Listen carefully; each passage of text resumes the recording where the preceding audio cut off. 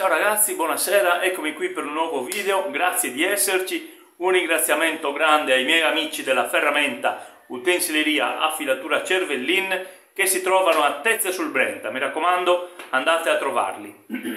Passiamo direttamente al nostro accessorio. Questa volta non parliamo di un elettroutensile, ma di un accessorio. Io qualche tempo fa, e ormai saranno 3 o 4 mesi, mi sono imbattuto in un mercatino dell'usato in un negozio, anzi non un mercatino, un negozio dell'usato dove ho trovato questo oggetto qui. Io mi sono detto, ma questo non l'ho mai visto, probabilmente è un qualcosa di fuori produzione, fuori catalogo da tanti anni. Aspetta che visto che costa pochi euro me lo porto a casa così faccio un video vintage, no? Cioè di uno strumento che non ormai è obsoleto e che non esiste più. Tornato a casa invece andando a guardare nel sito ufficiale della DeWalt mi sono reso conto che tuttora è in produzione, tuttora in catalogo, tuttora venduto regolarmente, se ne vendono, e, e che comunque costa 5-6 volte quello che l'ho pagato io. Bene, buono a sapersi. A questo punto io vi faccio il video non vintage come volevo fare, ma eh, di un prodotto che potete ordinare, se non lo trovate in negozio, tranquillamente. Allora, cos'è, cos'è, cos'è, cos'è? Sembra un porta inserti così paccioccone, in realtà è un porta inserti con una doppia punta. Ok? Questo non è il solito attacco esagonale, ma è più grosso. Qua invece c'è un attacco esagonale. Allora, intanto vediamo subito la sua funzione principale. Tiro qua, ok, ed esce questa punta. E lo metto dentro dall'altra parte. Aspetta, eh. Eccolo qua. Praticamente cosa succede? Che tu lasci questo sempre sul tuo trapano avvitatore e qua hai la punta per forare e, tua, e il tuo inserto per avvitare, in questo caso è un PH2, no, è un PZ2, ok? E quindi tu fai i tuoi fori, lo giri e fai le tue eh, avvitature. Ora ci sono alcuni problemi che vi spiego. Intanto questa è da 3, da da 3 questa punta. Io con una punta da 3 non faccio i fori per poter avvitare. Io uso tra quelle da 4,5, ancora meglio quelle da 5. Dopo svaso e dopo metto dentro la vite. Con una punta da 3 non, non mi va bene, no? non, perché la vite, la filettatura della vite comunque farebbe ancora presa sul, sul pezzo che ho forato, quindi non, non, mi va bene.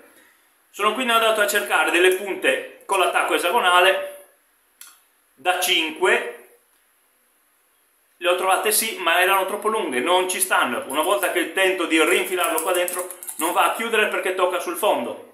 Ok? Quindi questa è praticamente inutilizzabile, seppure sarebbe anche carina, visto che ha già lo svasatore incorporato. O meglio, non inutilizzabile, ma utilizzabile con eh, viti molto piccole, che io raramente uso. Io a volte uso le 3x16, ma pochissimo.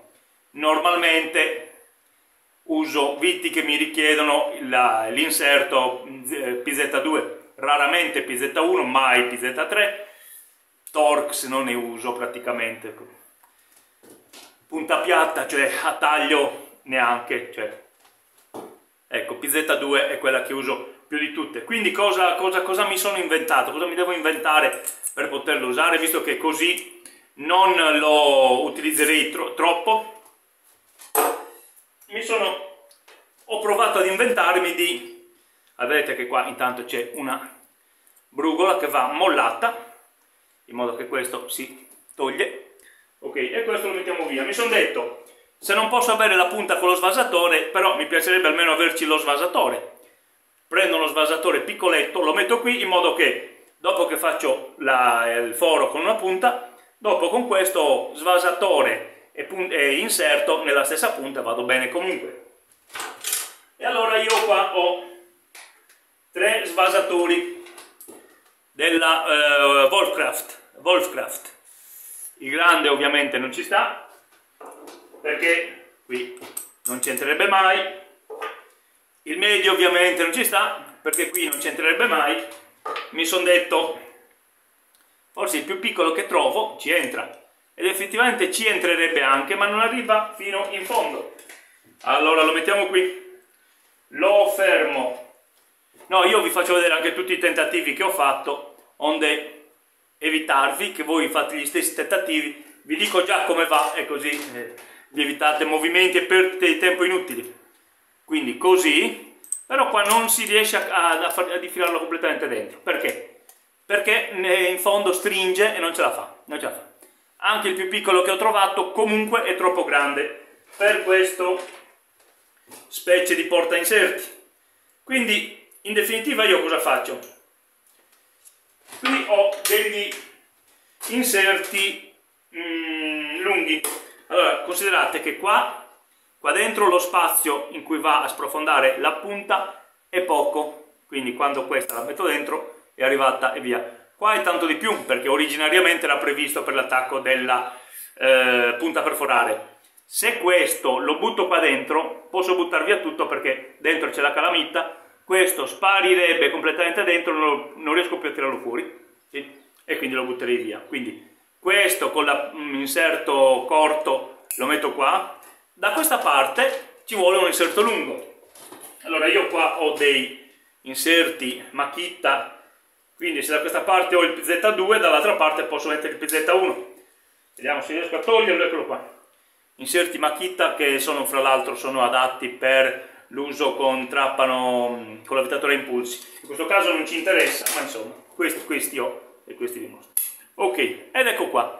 Vedi che dai trappe le parti spunta più o meno uguale. Posso metterlo dentro tranquillamente, eccolo qua, sia da una parte che dall'altra, eccolo qui, e ho le due punte che uso di più. Quindi lasciando sempre su il mio, eh, questa specie di porta inserti, io senza andare a cercare altre punte, ho la necessità soltanto di girare e ce le ho sempre appresso tu mi dirai, vabbè, ma cosa ci vuole? Tiri fuori questa e ti metti dentro quell'altra, no? Sì, se ce l'ho vicine, se ce l'ho vicine. Oppure devo tenerla in tasca, oppure da qualche altra parte, oppure nella calamita che quasi tutti gli avvitatori hanno, no, quasi tutti no, ma buona parte ce li hanno. Ma mm, questo è comunque, secondo me, un sistema pratico.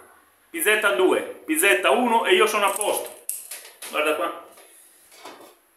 E... Quindi lo metto sul mio bel abitatore della Ingersoll Rand guarda qua. Questo io adesso lo terrò come porta inserti definitivo. E, e così io ho questo discorso qua. Senza andare a cercare nella valigetta degli inserti visto che uso sempre quei due lì. PZ1, PZ2 tac. Tac. Bene.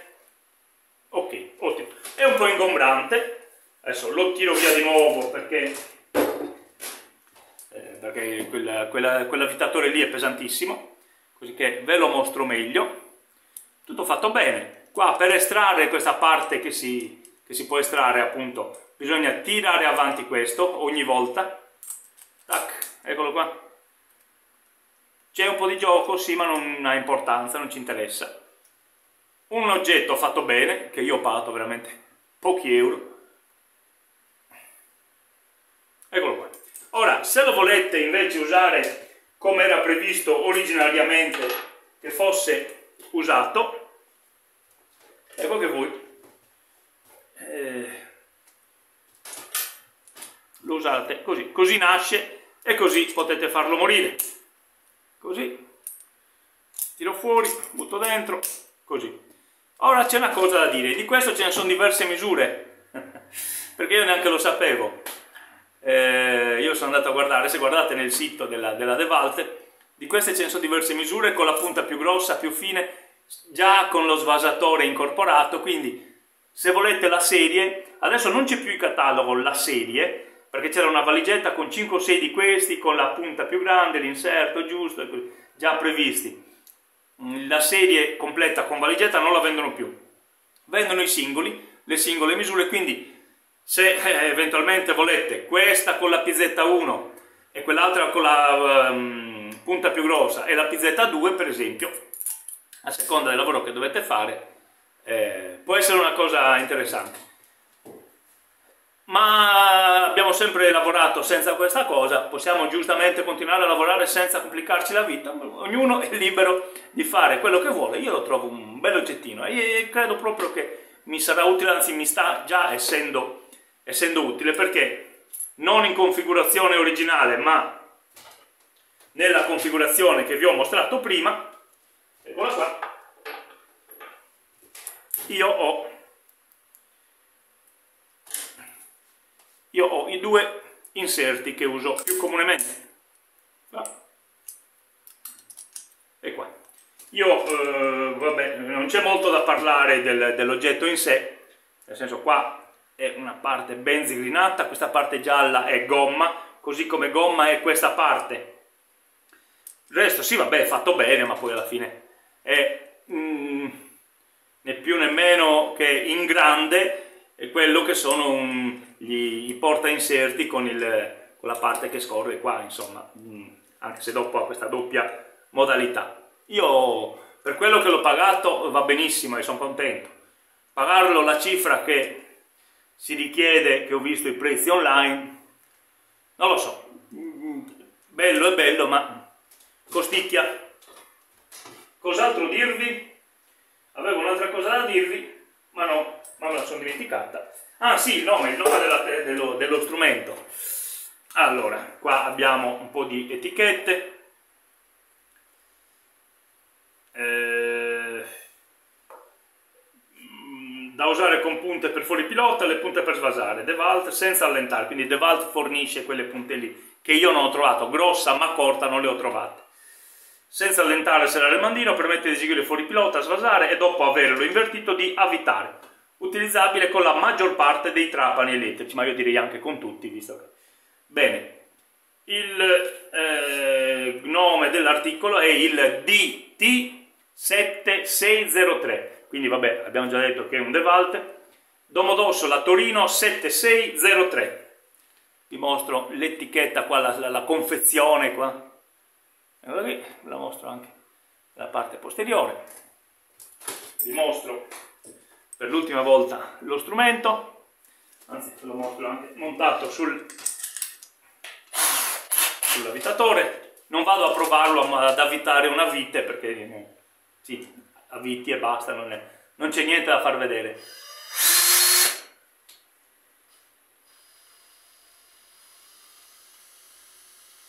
Bene, detto questo, io non mi resta che ringraziarvi, salto via il discorso pro e contro, consigliato, non consigliato, vi ho spiegato come funziona, vedete voi se può fare il caso vostro.